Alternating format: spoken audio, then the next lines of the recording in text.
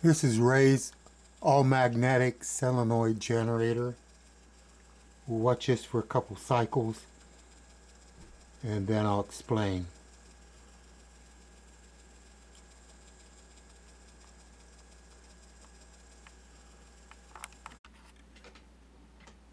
I'm going to first define what an over unity event would be and what it would look like. First of all, if we had a setup and we move one inch, we get one inch.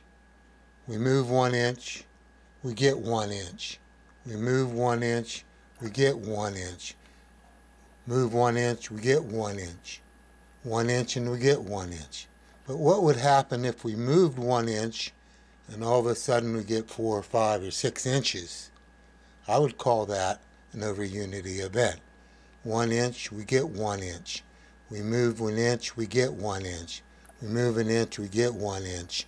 Over unity event, we move one inch and we get five or six inches. That's what I call an over unity event, everything remaining the same. Okay? Let's set this up a little bit. What I'm putting in place I call an activator. It activates the rotor. Okay? And as we see as we come around, we move an inch, get an inch. Move an inch, we get an inch. We move an inch, we get an inch. We move an inch, we get an inch. And if we move a little bit more, suddenly we fire and we get five or six inches. I call this an over unity event. We'll go ahead and I'll demonstrate the history behind this uh, finding. I'll first go ahead and explain what a solenoid electronically is. It's a cylinder with wire wrapped around an iron plunger. If you add a power supply to it as a battery, this activates a magnetic field. The iron plunger is drawn inwardly. This takes a power supply. If we had a all magnetic solenoid generator or a solenoid, then we could possibly use no power to get the same results.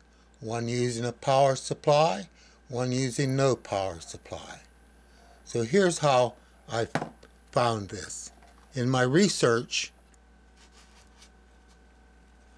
I set something similar up. I have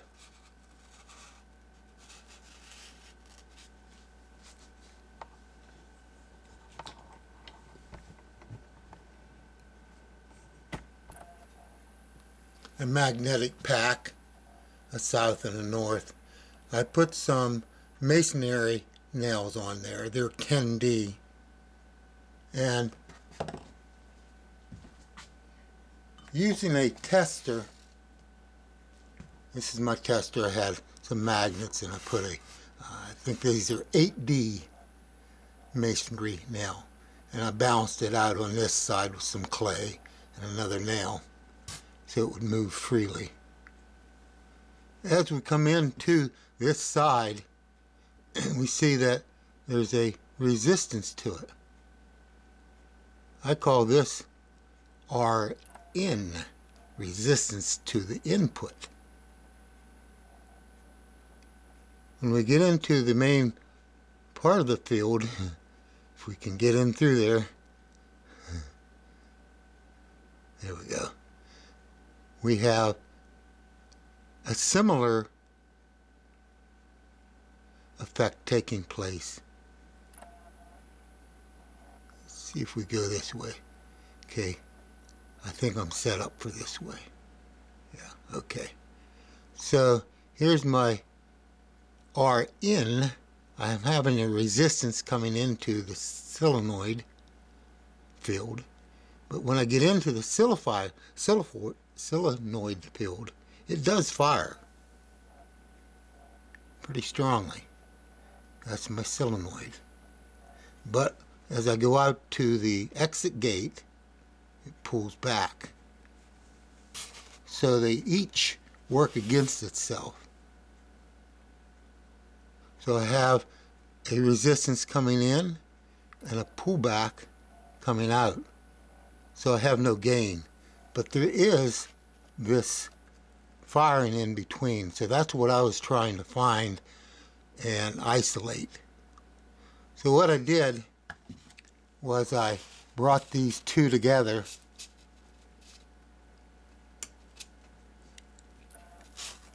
like so.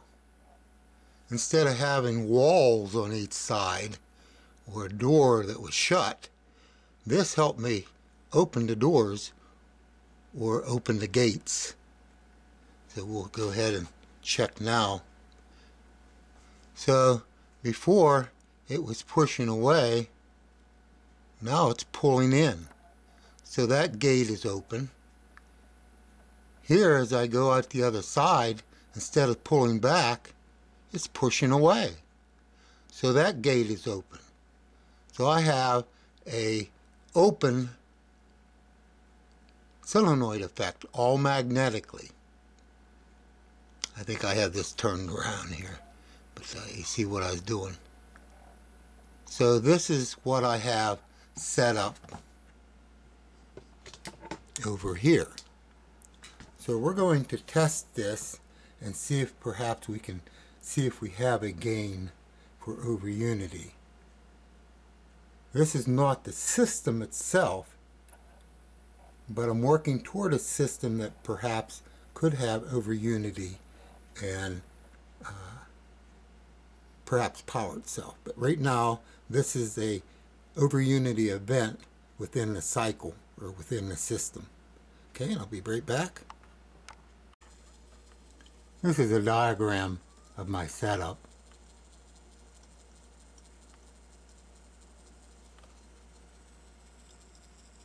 Okay. I'm going to, I have it set in the forward parameters right now. So it's taking a half a volt and we're firing it. Okay, and it's taking 0.02 amp, but when it fires it drops down to the 0.01. So I put that down. Now my reason is we're going to set it backwards now that it runs against the over unity firing and we'll see what that power represents.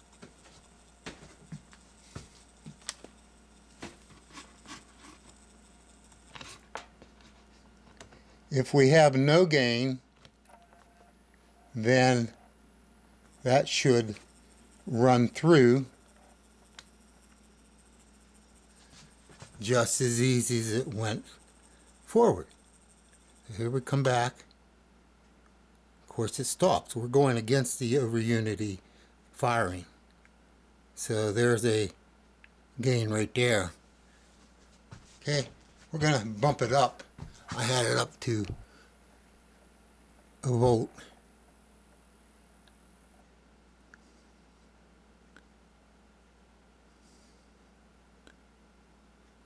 Okay, give it a little bit of a bump. I have this on a clay base.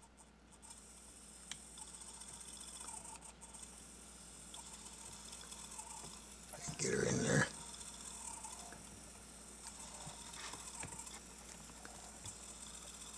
And that way you can adjust it easily. Okay, here we are. It's almost too close, but that's what I had. If I fiddled around with it enough, I could get it at one volt and uh, stop it.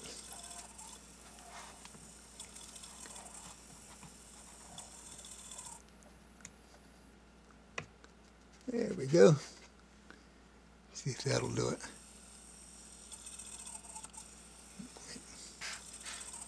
Patient here.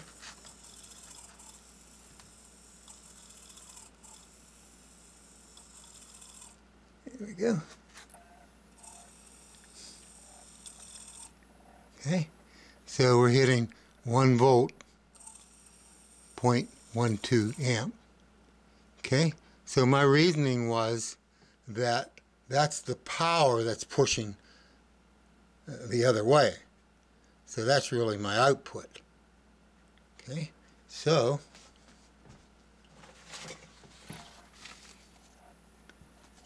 have for my forward, I had point 0.5, I'm sorry. It's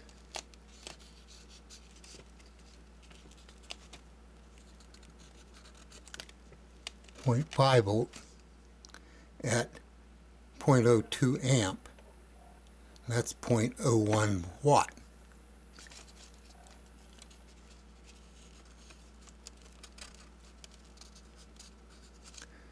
That's my input. That's running the small generator. Okay? And in reverse, we had it at 1 volt and it locked it up or resisted it at uh, point, point one two.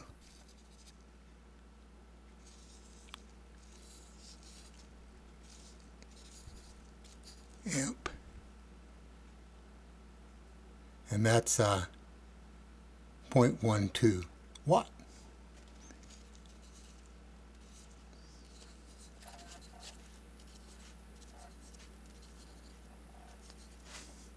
So we're about 10 times the difference. So that would be my over unity effect uh, over the input. So that's uh, what I have. And we'll hook it up again for uh, the last demonstration. Okay, I wanted to point out a limitation with this design why not just put more of these activators going across and around and then have it uh, work by itself. Well, the problem is, in doing it that way, is that when you put two activators together, we have the solenoid effect going on north to south, north to south, but in between, when you add another one, we have a just the opposite, south to north, which counteracts the uh, motion. So that's why you can't, you can get one in there and it works somewhat, but uh, more than that, these build up more faster than the uh, the action going forward. So it would have to be, I was thinking perhaps you could take a couple of these units and have a belt between them or stack them on top of each other and work it that way. But uh, at this point, I'm just showing that there is an over unity effect going by the numbers and the research that I've done so far. Hope you enjoyed this. I've been away a while. Uh, I had some health issues and uh, so I'm kind of back doing research for those who uh, do curious about things like this, other inventors and researchers. So if you'd like to uh, visit my uh, coffee donation, you can. Uh, but until next time, happy inventing. Have a nice day.